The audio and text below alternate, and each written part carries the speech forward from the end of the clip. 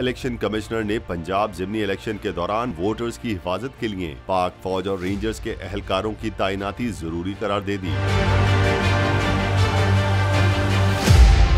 Chief election commissioner Sikandar Sultan Raja ने कहा है, वोटर्स की हिफाजत के लिए फौज और रेंजर्स के जवानों की तैनाती ज़रूरी है। Chief election commissioner Sikandar Sultan Raja ने खास तौर पर secretary election commission, Umar Hameed Khan को इलेक्शन सिक्योरिटी और इंतज़ाम का जायजा लेने के लिए लाहौर कैंप ऑफ़िस कायम करने की हिदायत की। Secretary election commission, Umar Hameed Khan ने कहा की इलेक्शन के दौरान किसी किस्म की बदअमनी बर्दाश्त नहीं की जाएगी।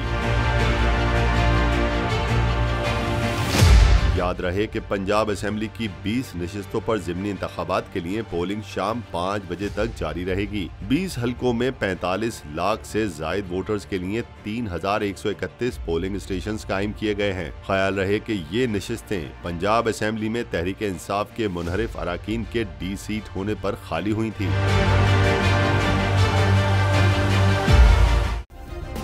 सब्सक्राइब करें और बेल दबाएँ ताकि कोई खबर रह न जाए।